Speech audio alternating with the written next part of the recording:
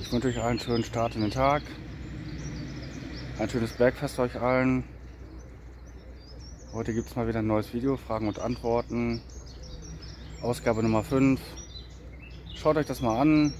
Wenn ihr irgendwelche Fragen habt, stellt sie mir in den Kommentaren, per E-Mail oder in sozialen Netzwerken. Man sieht sich und bleibt gesund.